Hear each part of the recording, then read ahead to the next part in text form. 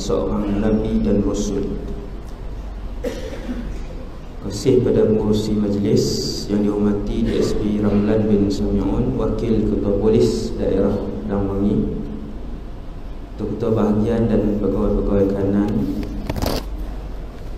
Yang dihormati Inspektor Khairul Nizam Pengurusi Surau IPD Damwangi Ketua Kuasa Surau IPD Damwangi Seterusnya Muslimin dan Muslimat yang dirahmati Allah SWT sekalian. Kita hadir malam ni kerana Allah. Itu yang pertama. Yang keduanya tuan sekalian Benda yang paling besar dalam kehidupan kita ialah Mendapatkan redha Allah subhanahu wa ta'ala Redha Allah ni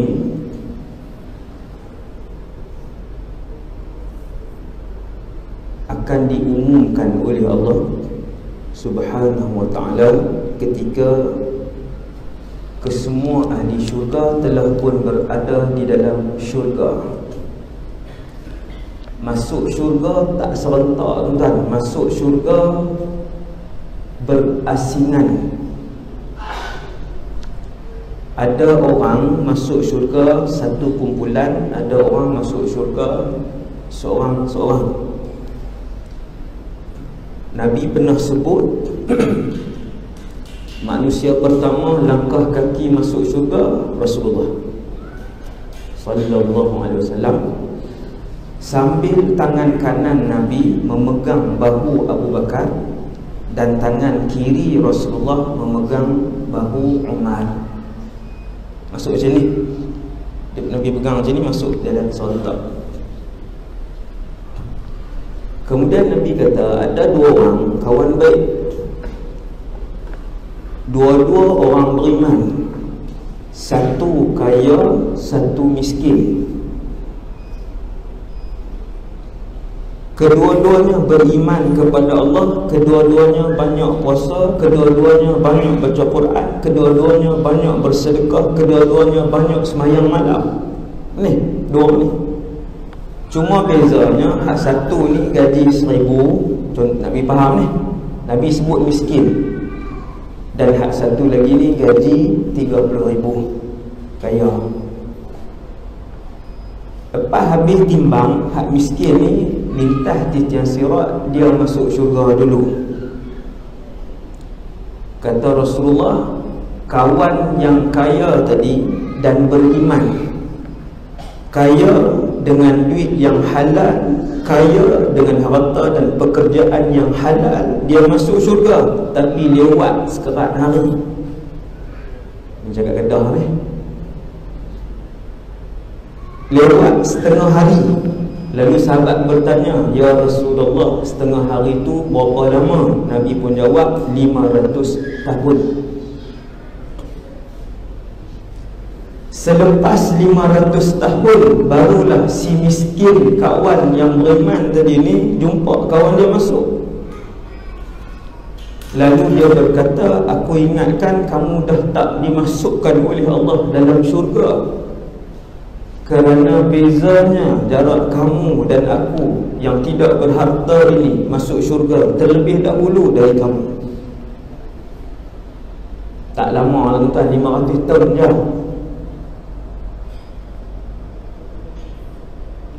Maksudnya masuk tak serentak. Ketika semua dah masuk Ada satu hari Semua masuk Nabi kata sehinggakan Allah tunjuk kepada aku lelaki terakhir merangkak keluar daripada neraka masuk syurga. Tuan-tuan faham ni? Saya nak sebut nak nak cerita, saya nak cerita bahawa masuk syurga itu tak sama waktu.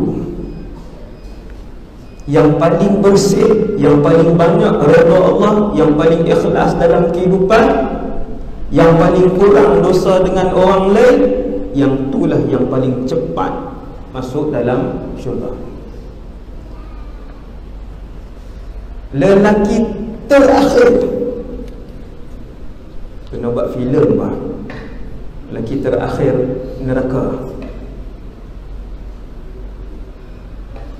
Kita tuan-tuan kita ni selama mana Islam mengaku bahawa la ilaha illallah Muhammadur Rasulullah.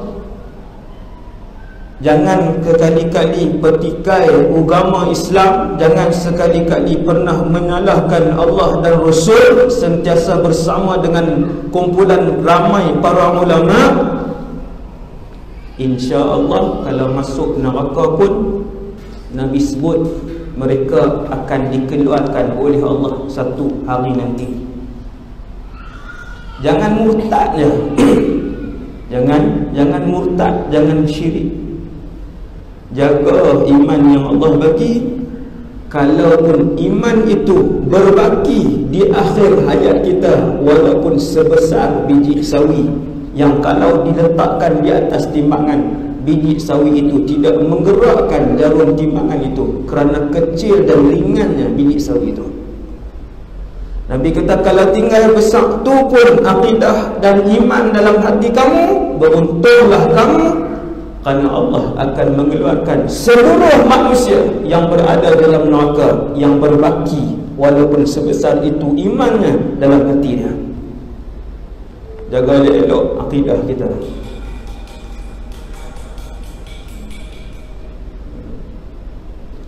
Kata Nabi Aku kenal satu orang lelaki-lelaki saya, saya baca cepatlah hadis ni Sebab malam ni saya uh, Ke-9 saya berhenti Boleh? 8.10 Ataupun 8.45 kah? 8.50 kah? Itulah tengok ke-9 Saya nak kongsi dengan tuan-tuan Tiga hadis uh, Ini hadis pertama Tuan-tuan pernah dengar ni semua cerita-cerita ni masyhur. Semua berkait dengan menggapai redha Allah Subhanahu wa taala. Nabi sebut dalam satu hadis yang sahih kata Rasulullah aku kenal rupa satu orang lelaki-lelaki yang terakhir keluar daripada neraka. Ayat mudahnya tuan-tuan bahasa mudahnya Orang yang paling sikit pahala dalam surga Dia ni Lagi-lagi Nabi kata aku kenal dia. Seolah-olahnya Allah tunjuk ke Rasulullah peristiwa itu. Banyak tuan-tuan Peristiwa akhirat dalam mash, Di padang mahsyar Di barzakh dalam neraka Dalam surga Yang Allah perlihat kepada Rasulullah Banyak. Ha, Jangan pelik Itu biasa. Nabi pernah solat Nabi nampak syurga Hadis sahih. Banyaklah. Dalam hadis ni Nabi kata aku kenal rupa lelaki tu bukan sebab Nabi kenal dia di dunia tapi sebab Nabi nampak dia Allah tunjuk rupa lelaki ni. Ha, jangan berdoa nak jadi lelaki ni sudah. Duduk berapa lama dah tu Dalam neraka dia dah duduk Wallahu alam berapa juta tahun Lelaki ni Yang paling sedikit amalannya Lelaki ni lah Kata Rasulullah Dia pun keluar Rabat Orang Kedah kata rabat Sebab dia panjat. Ha, Panjat. Sebab neraka ni dia gaung Bergaung Dia dalam. Macam ni lah Dia dalam. Di dalam di bawah Jadi yang nak keluar daripada neraka Dia kena panjat. Panjat Panjat Panjat. Laki ni dia panjat. Sampai di atas masih ada api yang menyambar-nyambar lelaki ni. Nabi sebut wa tasfa'uhu an-naru marrah dalam dia duduk panjat tu naik api.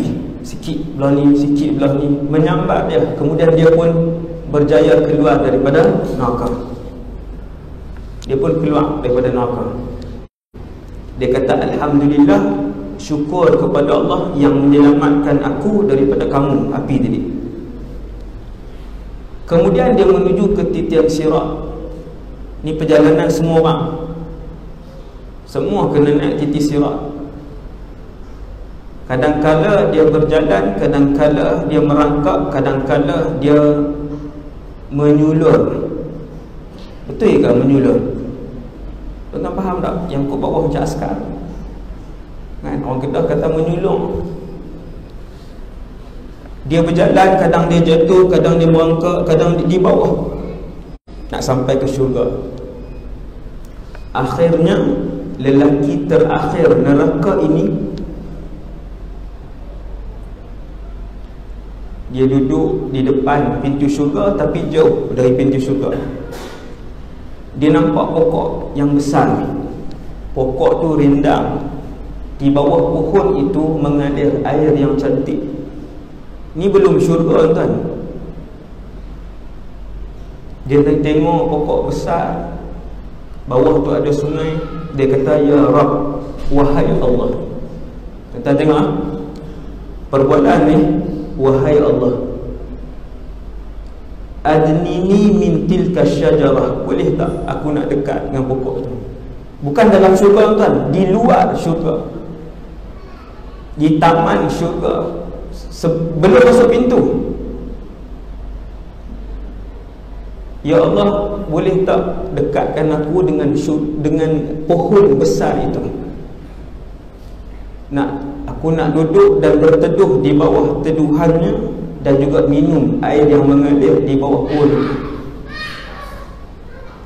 Nabi pun izinkan uh, Allah SWT maafkan saya Allah SWT izinkan dia pun duduk bawah pohon tu. Bila sampai dekat pokok tu bila sampai dekat pokok yang rendang tadi dia pun rehat dia pun duduk. Selepas dia rehat berteduh dia minum dia dongakkan kepala dia depan sana lagi dia nampak satu pohon lebih besar. Dia kata ya Allah boleh tak dekatkan aku dengan pohon yang lebih besar itu untuk aku berteduh di bawahnya dan minum airnya Allah pun sebut wahai anak Adam yang ni permintaan yang kedua. Hadis sahih ni. Wahai anak Adam Kalau aku bagi permintaan kedua ni Kamu akan minta yang ketiga. Maka dia pun kata dia, Tidak ya Allah Aku berjanji nak yang tu je. Nak pangai manusia. Mula minta Nak naik gaji Dua ribu setengah. Allah Ta'ala pun bagi dua ribu setengah. Dia kata kalau tiga setengah Boleh pergi kuliah ya Allah. Dan pergi kuliah maghrib Duk mohon dengan Allah Ya Allah Tambahkanlah rezeki. Allah Ta'ala naik pangkat. Dapat tiga ribu setengah Tak pergi juga kuliah maghrib Sampai lelaki terakhir ni Bila dia minta yang kedua Allah subhanahu ta'ala kata dekat dia Wahai anak Adam Kalau aku bagi hak kedua ni Kamu akan minta yang ketiga. Dia kata Ya Allah Aku janji tak minta yang ketiga. Allah Ta'ala pun izin Dia berjalan pergi dekat Semakin hampir depan pintu syurga Di bawah pokok yang lebih besar Sungai yang lebih jernih. Siapa pernah berjalan di Eropah? Kan Tuan-tuan tengok pokok Dengan sungai dia sejam Dengan ikan Dengan Ni ada warna ni Bukan warna Macam teh ais Di sungai kita Air Saya pernah ke Jepun 11 hari macam tu Seluruh sungai Jepun utara sampai ke selatan warna gini. Naik Shinkansen tu kita tengok di luar tu tengok subhanallah. Dia pun sampai yang kedua dia pun minum rehat. Dia dongak kepala dia. Kata Rasulullah dia nampak pohon yang lebih besar daripada pohon yang kedua dan pertama dia nampak di bawah tepi pohon itu sungai yang lebih luas dan lebih jernih daripada sungai pertama yang kedua dia kata ya Allah boleh tak nak ke pokok tu nampak tak tak sanggup janji Nabi nak bagi tahu betapa Allah tak pernah berkira dengan manusia. Sebab itu Allah bagi nikmat kepada semua makhluk. Dia buat dosa. Berulang kali dia buat. Dua bulan lepas taubat. Bulan ni buat pula. Kemudian buat lagi, kemudian buat lagi. Allah tetap terima taubat dia ketika mana dia jujur dengan Allah. Tuan-tuan tengok dekat nak masuk syurga sampai kali kedua pun dia tengok pokok ketiga dia kata ya Allah boleh tak tolong dekatkan aku dengan pokok yang ketiga itu. Allah kata bukankah tadi kamu telah berjanji untuk tak minta yang ketiga? Dia kata ya Allah pokok tu lagi besar sungai dia lebih luas kasih Allah dekat manusia ni Allah izinkan dia tapi jangan minta yang keempat. Jangan minta. Laki ni berjalan semakin hampir. Pohon itu pohon yang paling dekat dengan pintu syurga. Lebar pintu syurga itu seperti mana jaraknya daripada bumi nak menuju ke langit. Luas bila dia sampai di pohon tu dia duduk di bawah teduhan pohon besar itu dia minum daripada sungai di bawah pohon itu. Kemudian dia mendengar bunyi riuh rendah penduduk syurga. Dia kata ya Allah boleh tak nak masuk dalam? Dua kali yang mungkin jadi. Depan Allah. Allah Ta'ala kata silakan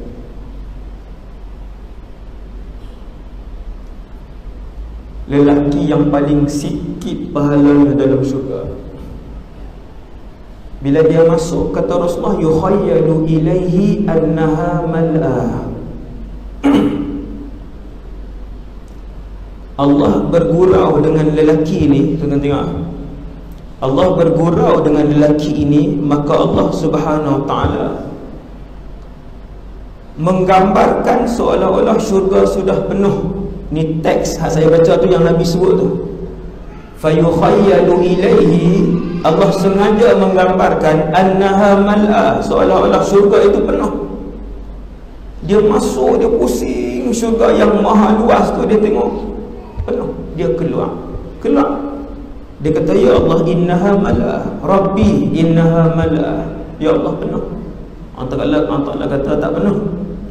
Masuk Dia pun masuk kali kedua Kemudian dia keluar Dia masuk kali yang ketiga Kemudian dia keluar Dia kata Rabbi innaha mala'ah Allah. Wahai Tuhan Syurga itu telah penuh. Kemudian kata Rasulullah Allah tanya soalan terakhir kepada dia. Ingat tak? Dulu ketika hidup di dunia dulu. Tuan-tuan sekalian saya dan kita semua akan ingat saat ini hari kita masuk syurga nanti seperti mana malam ini. Tuan-tuan ingat nombor telefon tuan-tuan, alamat tuan-tuan, email tuan-tuan, password tuan-tuan, pekerjaan tuan-tuan, nama tuan-tuan Begitulah maklumat yang akan tuan-tuan bawa ketika melangkah kaki masuk dalam syurga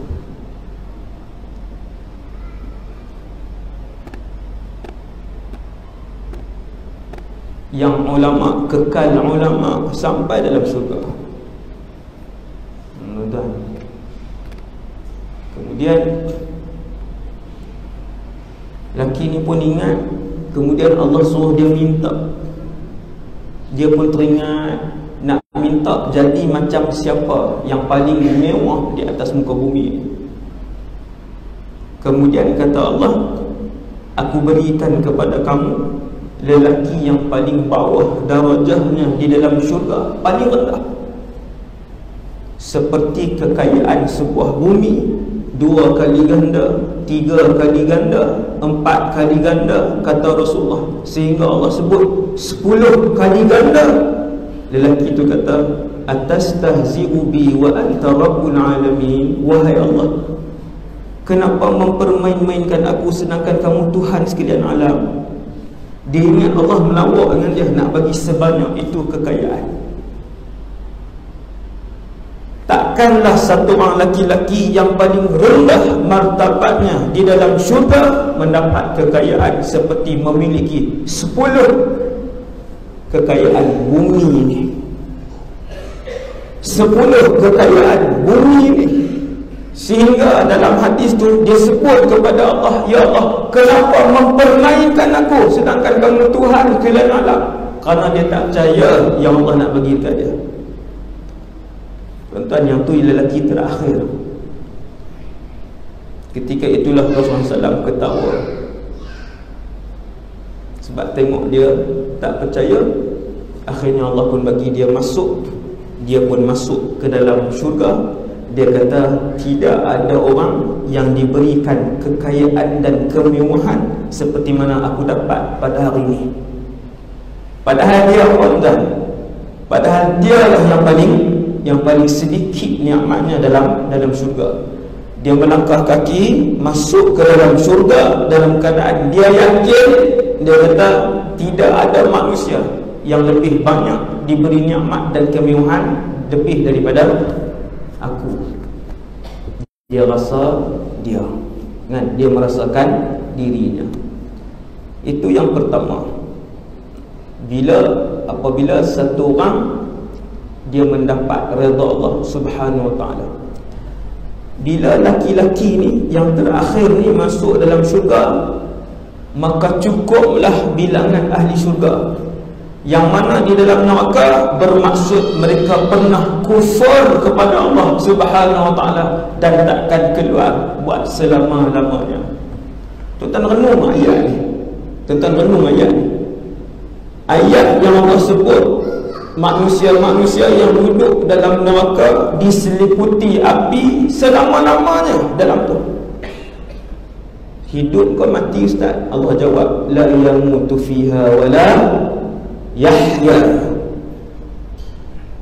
Kan surah Al-A'la la yamutu fiha wa la yahya.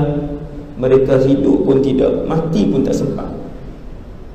Hidup tak sempat mati tak sempat.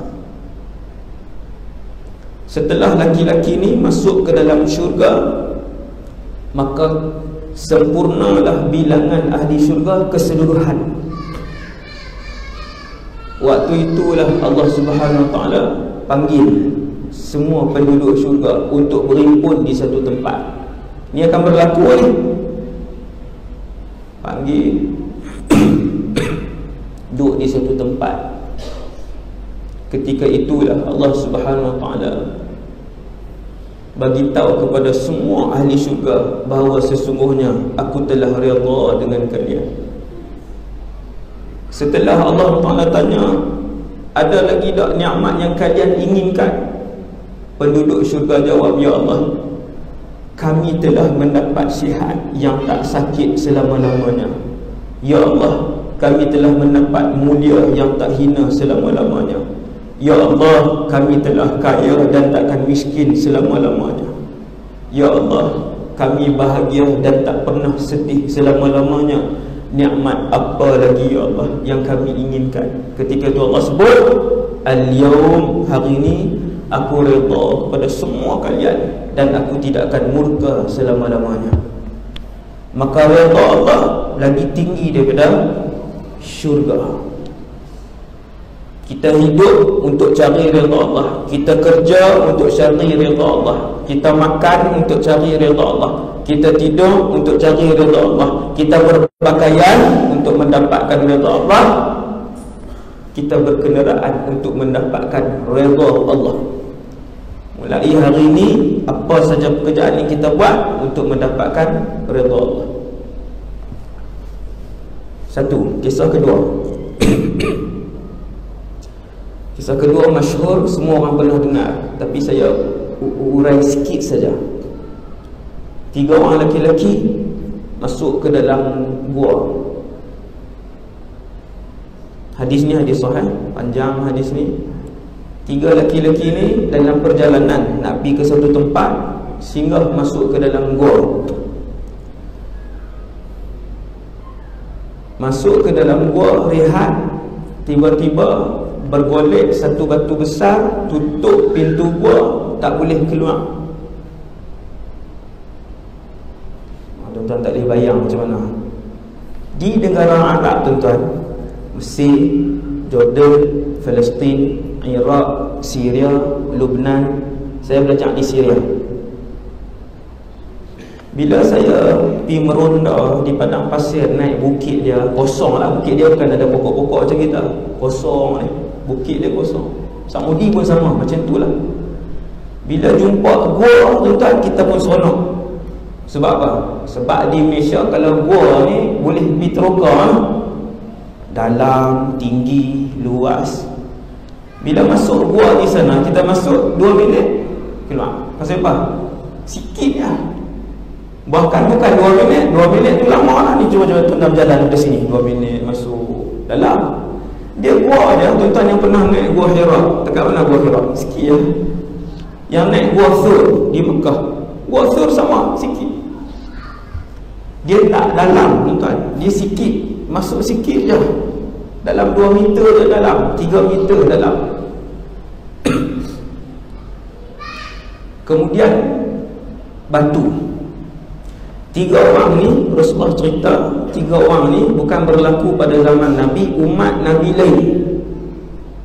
Umat Nabi lain Dan kesemua kisah-kisah yang lalu Nabi dapat tahu daripada Jibril AS ha, Ini jawapan kan? Malaikat Jibril kan daripada sebelum Nabi Adam. Maka Malaikat Jibril Tahu keseluruhan cerita yang berlaku Kepada semua umat Jibril tahu alaihissalam. Jadi Jibril cerita ni kisah ni juga diceritakan oleh Jibril alaihissalam. Tiga orang ni musafir masuk dalam gua nak rehat, bergolek satu batu tutup pintu gua. Kita kata takkan dia tutup tepat ustaz. Ha, takkan tepat tutup pintu tu. Tu tak benda ni boleh jadi macam uh, budak-budak Thailand yang masuk dalam gua tu. Berapa belas hari? Berapa belah hari tau? Duduk dalam tu. Masuk Kemudian ayah naik tak boleh keluar. Kita kata macam mana tu? Macam mana apa jadi? Dia gua macam tu. Bila masuk dalam tu Dia tinggi ada rendah Ada tinggi ada rendah Hujan turun Naik ayah. Nak keluar tak boleh. Kena kena berenang jarak yang jauh. 100 meter lebih. Selam. Siapa nak selam? Nak kena selam tu jauh. Ha, yang berlaku tu. Kan? di, di Thailand tu jadi yang berlaku pada tiga orang ni Umat Nabi terdahulu yang beriman dengan Allah Masuk rehat Batu jatuh Sakhrah Nabi sebut dalam hadis tu Tutup pintu gua. Tak nampak langsung cahaya. Bila dah tutup pintu gua Batu tu besar Tiga-tiga orang tolak tak bergerak. Tuan-tuan Dia kalau dekat meja ni tuan-tuan Jalan. Batu kan dekat meja ni Jalan. Ni meja maksudnya kita boleh bayang batu tu pintu gua mungkin. Saat ni. Ha, tolak lah batu. Tiga-tiga tolak. Tak berjalan langsung. Punyalah besar batu tu. Akhirnya ketiga-tiga orang duduk temenu nak tunggu sampai bila? Kalau ada handphone boleh whatsapp telefon kan? Tak ada nak tunggu sampai bila? Maksudnya tunggu dalam gua tu dan mati perlahan-lahan. Mati ya. Akan mati. Makan apa yang ada, habis bekalan makanan hari pertama, hari kedua, lepas minggu, dua minggu mati. Di tiga orang ni duduk. Satu orang bercakap. Ini semua orang tahu, saya ringkaskan. Satu orang pun bercakap. Dia kata, kita bermunajat kepada Allah tiap-tiap orang sebutkan. Satu amal baik yang dia pernah buat dalam hidup dia yang paling ikhlas kepada Allah.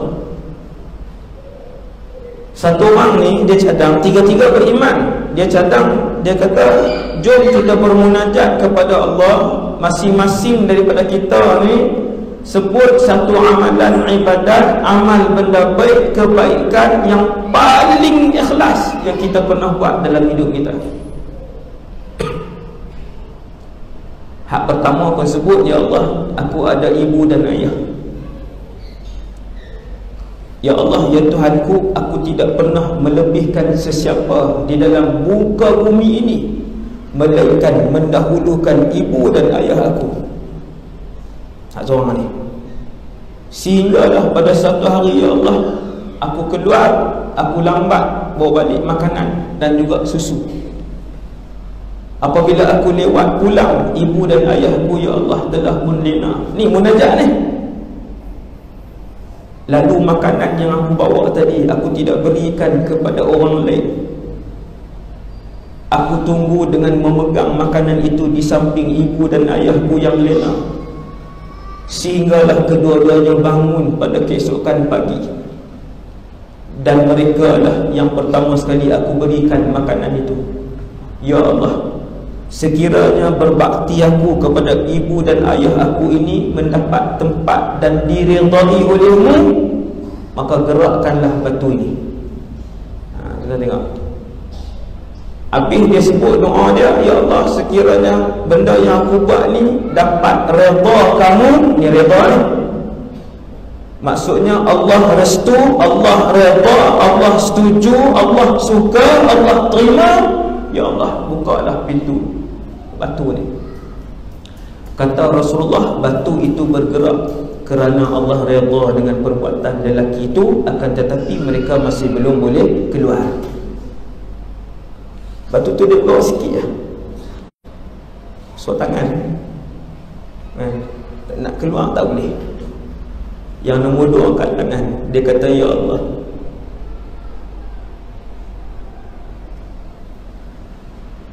Aku ada seorang sepupu. Seorang sepupu wanita yang paling cantik di daerah kami. Dia lah Ya Allah Aku ingin Pernah teringin untuk bersama dengan Wanita tercantik itu. Akan tetapi dia menolaknya. Setelah beberapa tempoh Ya Allah Wanita itu datang.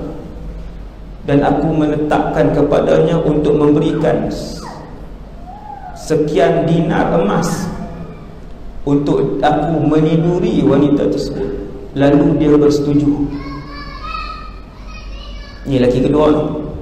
Ya Allah ketika aku telah pun menyerahkan wang itu kepada wanita tercantik itu nak darah ni. Wanita tercantik itu Aku telah pun berada bersamanya di dalam bilik Dan aku telah pun berada di antara kedua pahanya Lalu wanita itu pun bercakap Ittaqillah Takutlah kamu dengan Allah. Wala tafuddal khatama illa bihaqqih Janganlah kamu menggunakan sesuatu kecuali kamu telah melakukan hak-haknya. Perempuan tadi Duk di antara dua paha dah. Maksudnya letak dalam bilik dah. Duk di antara dua paha dah. Wanita tu kata Ittaqillah. Bertakwalah kamu kepada Allah. Takutlah kamu kepada Allah. Jangan gunakan sesuatu Kecuali kamu telah membayar Dan melalui hak-haknya Dia kata Laki ni kata Ya Allah Aku tinggalkan wanita tercantik itu Boleh buat lah Tak dah Kalau dalam bilik tak dah Kalau kot luar boleh Boleh pejam mata ni Duk astagfirullah Astagfirullah Sebelah tengok juga Hai lawa semua dia tu. Segok lah. Sebut macam ni Sebut pungkuk buntut macam mana. Dia sebut lah hati dia Hei geram Tu kat luar Kalau duduk dalam bilik Tak tolak dah Laki ni hak duk geram lama dah dengan perempuan ni. Lepas berapa tahun baru perempuan ni datang, dia pun banyak duduk dalam bilik dah, duduk di celah paha dah. Wanita ini yang beriman tetapi waktu tu begitu terdesak dia kata ittaqillah takutlah kamu kepada Allah. Laki ni tinggal. Dia kata ya Allah aku tinggalkan wanita itu kerana mu ya Allah. Sekiranya amalan itu diridai olehmu ya Allah Buka dan gerakkanlah pintu Batu yang menutupi gua Dia dia jatuh tangan Batu tu bergerak. Kata Nabi akan tetapi belum cukup untuk mereka keluar. Masuk sikit lah badan yang ketiga berdoa. Yang ketiga ni kata ya Allah ada seorang lelaki dahulu bekerja dengan aku. Tengok tuan eh? Tiga-tiga ni pupus di akhir zaman ini. Tiga-tiga ni. Tak banyak dah yang berbakti dengan mak ayah tak banyak dah yang boleh lari daripada zina. Bahkan berzina dengan suami orang berzina dengan isteri orang. Dan yang ketiga ni amanah harta. Laki ni dia kata ya Allah dulu ada satu orang bekerja dengan aku. Dia kerja kemudian satu hari dia hilang kan macam hari ni lah. Kerja-kerja elok tengok hilang. Pasport dia kita. Laki ni. Tuan ni tokek ni yang yang berdoa ni bos manager. Tapi manager beriman. Nak cari taman orang tuan. Manager beriman hari ni. Dia kata ya Allah lelaki ini hilang satu hari tanpa sempat aku membayar gajinya yang terakhir. Hak bulan dah sebulan lalu duit itu ya Allah aku beli beberapa aku beli kambing. Lalu aku biarkan kambing itu. Kemudian aku beli unta Aku biarkan unta itu. Kemudian aku beli lembu Aku biarkan lembu itu. Sehinggalah kambing, unta dan lembu itu Memenuhi padang rumahku Tiba-tiba Ya Allah Satu hari lelaki ini datang kepada aku. La ilaha illallah. Mai balik Tuan, kambing, unta, lembu Nabi sebutlah hadis ni Penuh satu kandang tu. Berapa masa? Ambil? Setahun. Dan kan? Tak dan. Kita kata lima tahun. Nak ambil duit gaji ni Sebulan je. Bukan hak dia kerja sepuluh tahun. Sebulan je. Dia main balik. Nak kata hak kawan ni pun punya kira ni. Hak kawan main balik ni Tuan. Dia main balik Laki-laki ni Dia pun kata Ya Abdullah Tuan, addi ilayya ajri. Ingat tak dulu ada gaji sebulan aku saya tak ambil. Tuan kata ya. Ada sebulan. Boleh tak? Hari ni nak main minta hak gaji tu.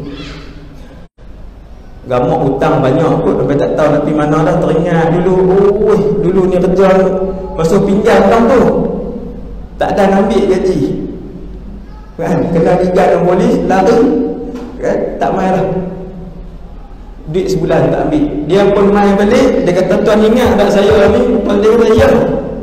Ada gaji terakhir tak ambil dia kata hari ni saya nak main nak minta hak gaji dulu ni lah. Tuan tu dia pegang tangan pekerja dia. Pekerja je tu tuan. Pegang tangan dia bawa. Dia kata nampak tak satu padang ni? Unta apa nama ni? Ker, uh, lembu dan juga kambing yang memenuhi satu padang dia kata nampak? Semua ni harta kamu. Laki ni pun kata tuan saya nak minta gaji akhir saja bukan nak suruh tuan perli saya. Ni Nabi sebut ni. Saya nak minta gaji last bukan nak suruh tuan perli-perli kata kat saya. Tuan tu kata tidak. Kesemua ini harta kamu yang telah aku biarkan Kata Rasulullah fa akhadahu kullahu dia ambil semua tak tinggal seekor pun. Kata hak lelaki ni ni hak ni pun perangai kan. Dah bagi semua ambil semua. Fa akhadahu kullahu minta semua dia ambil tak tinggal apa. Dan kawan ni pun dia selas.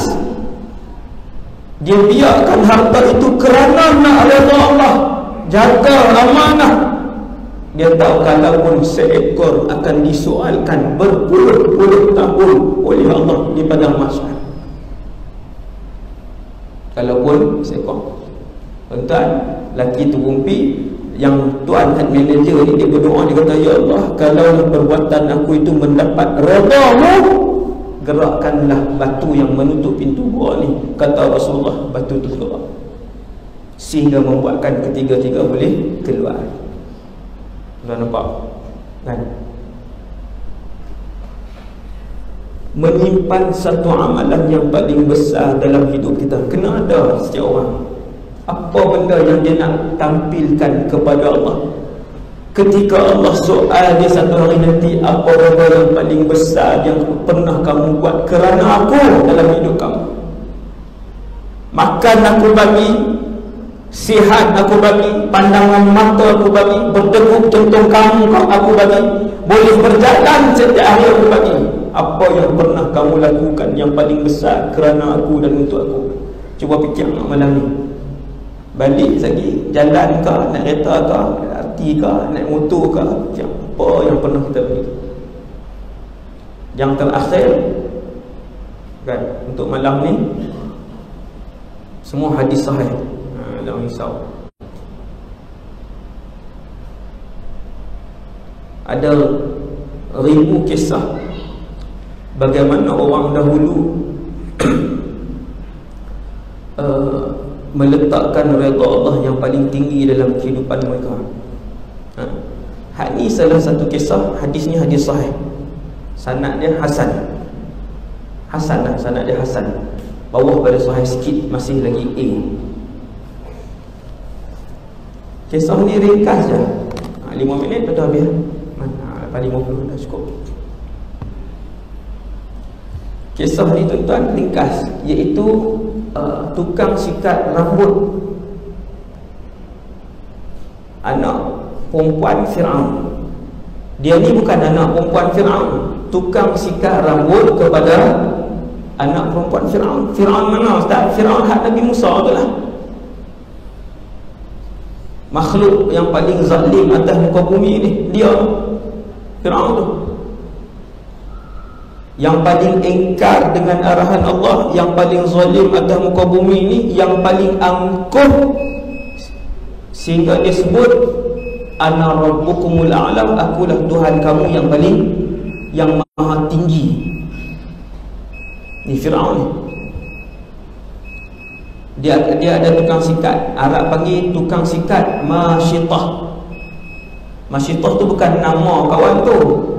Tapi nak mudahkan cerita kita kata nama dia Masyitah. Mishto sikat.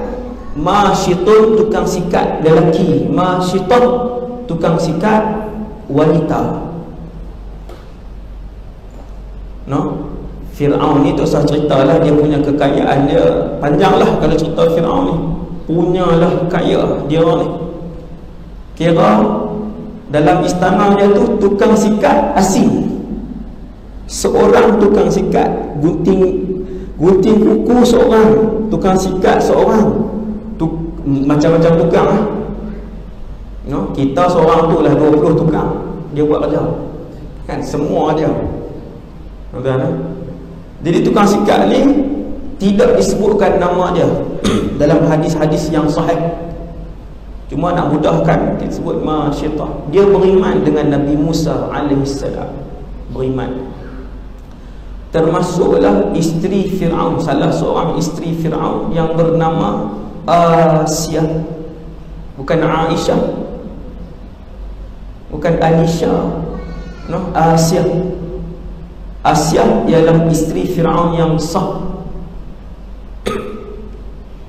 Dia beriman dengan ajaran yang dibawa oleh Nabi Isa alaihissalam tukang sikat ni satu hari dia perempuan lah. Dia sikat rambut anak perempuan Fir'aun. Sikat kemudian sikat terlepas. Bila dia nak ambil dia kata bismillah. Bismillah dia ambil tuan-tuan tengok ha? sama ha? sunnah para rasul yang sama ke semua rasul ialah nak melakukan apa sahaja dalam kehidupan mereka. Bismillah. Buka pintu kata bismillah. Nak buka buku bismillah. Nak sarung baju bismillah. Nak pakai slipper bismillah.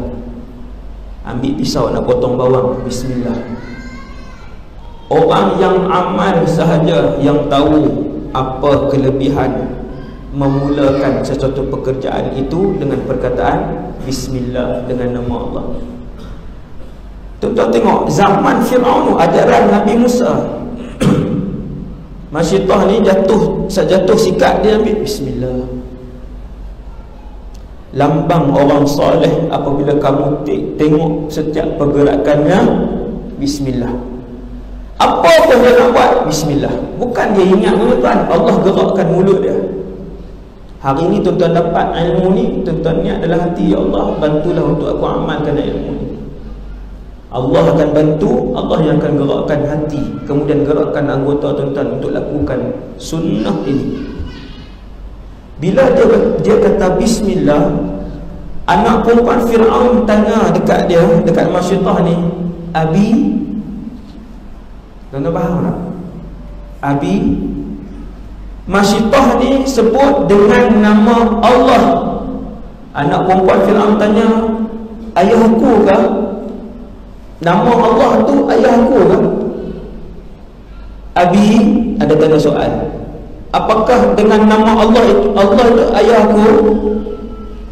Masyitah jawab la bukan. Rabbi wa rabbu abiki Allah. Tuhan aku dan Tuhan ayah kamu Allah. Anak tu kata apa? Anak Firaun kata, "Oh biru abi, saya pun nak mengadu dekat ayah aku." Ha tunggu. Anak pun jahat Sama jahat Dia kata tunggu Saya pun apa beritahu kat ayah aku Dia beritahu kat ayah dia Fir'aun pagi Main duduk depan Fir'aun Siap lah Tuan-tuan Fir'aun ni Saiz dia Badan orang Melayu Dia bukan besar macam Arab Mesir. Tuan-tuan tengok dia punya kerangka Tuan-tuan boleh tahu. Orang yang kecil. Panggil masyitah Dia kata Ya fulanah. Wahai fulanah Fulanah ni bukan nama lah. Wahai fulanah. Wa inna laki rabban ghairi. Apakah kamu ada Tuhan selain aku? Dia lah bukan saya tunjuk kot ni Apakah kamu ada Tuhan selain aku? Ada Tuhan lain kau? Maka jawab masyitah yang memendamkan Merahsiakan Islam dia selama ni dia kata na'am Selama ni dia rahsiakan Islam dia Hari itu dia sebut di depan manusia yang paling zalim Di atas muka bumi ni dia kata na'am Rabbi wa rabbukallah Tuhan aku dan Tuhan kamu Allah tak kira nak jadi apa pun kali hari ni Rabbi wa rabbukallah Fir'aun kata Ikat dia ni humban dia beserta kesemua anak dia dalam periuk besar yang diletakkan minyak yang menggelegak kelima-lima anak masyitah dibawa lima. Ambil di rumah bawa mai. Tanya masyitah Fir'aun tanya Nak keluar daripada agama ni? Ataupun tidak? Masyitah kata Rabbi wa rabbukallah Tuhan aku dan Tuhan kamu Allah. Fir'aun kata bawa anak sulung dia. Lempar dalam ni. Tuan-tuan Tuan-tuan tak boleh bayang pun no? ha. Satu periuk besar Letak minyak Menggelegak Tolak masuk dalam tu Berapa jam mati tak payah jam ha? Lima minit mati ya? Ambil anak sulung masyitah Bawa Tolak Ditolak anak sulung tadi Mati Minyak menggelegak ada raja dulu dia guna air yang menggelegak Ada raja dulu dia guna minyak yang menggelegak Kedua-duanya mati Kedua-dua bahan tu boleh mematikan Bawa anak yang kedua tanya wahai masyitah nak keluar daripada agama ni ataupun tidak. Dia kata Rabbi wa Rabbukallah. Tuan-tuan iman ni, iman ni sudah pupus pada zaman ni. Termasuk kepada saya yang sedang bercakap. Tuan-tuan nak cari iman ni? Tak ada. Tapi mesti ke arah itu. Bawa anak yang kedua. Rabbi wa Rabbi Allah Rabbi wa Rabbukallah. Tolak. Masuk mati anak yang kedua. Anak yang ketiga Anak yang keempat. Anak yang kelima anak yang keempat silap. Anak yang kelima masih menyusu. Maksudnya umur 2 tahun ke bawah tentera pun tolak dia ke depan. Wahai masyitah kalau kamu keluar dari agama ni kamu selamat. Dia jawab Rabbi wa Rabbukallah Tuhan aku dan Tuhan kamu Allah. Tentera pun nak tolak dia Tapi dia duduk tahan. Fataqa asad. Taqa asad ni dia yang mundur ke belakang Sebab dia duduk tengok anak ni Tentera tolak dia ke depan Dia tolak ke belakang. Dia tengok anak dia. Sebab yang ni menyusu. Bila kali ketiga tentera tolak dia Anak ini bercakap Ya ummah Wahai ibu Bayi ni. Bayi tak boleh bercakap Tapi yang ni uh, Apa nama ni Karamah Kepada Masyitah ni. Ya ummah Iqtahimi. Wahai ibu Tajud Sesungguhnya azab akhirat Lebih besar daripada Azab ini. Ini saatnya Lima saat. Ataupun lima minit Mati. Kemudian insya-Allah berada dalam syurga. Dan itulah dalam malam Mi'raj Nabi ronda masuk dalam syurga. Nabi bau wangi. Nabi tanya wahai Jibril wanginya bau ni milik siapakah wangi-wangian ini? Lawat Jibril milik Masyitah dan anak-anak beliau. Apa yang berlaku wahai Jibril kepada mereka? Jibril pun cerita cerita yang saya sebutkan tadi. Takat itu takat sekadar itu dulu uh, ceramah pada malam ni semoga kita semua mendapat yang tiba daripada apa yang saya sampaikan untuk sama-sama kita meletakkan bahawasanya dalam hidup ini yang paling besar sekali ialah mendapatkan redha Allah walhamdulillahirabbil alamin سبحانك اللهم وبحمدك أشهد أن لا إله إلا أنت أستغفرك وأتوب إليك ولا أصل إلا الإنسان إلى الذين آمنوا وصلحوا وتواصلوا بسم الله الرحمن الرحيم الحمد لله والصلاة والسلام على رسول الله وعلى آله وصحبه ومن والاه Allahumma alimna ma yanfa'una ya Allah ajarkanlah ilmu yang bermanfaat pada kami. Wanfa'na bima 'allamtana ya Allah manfaatkanlah ilmu yang kau curahkan pada kami.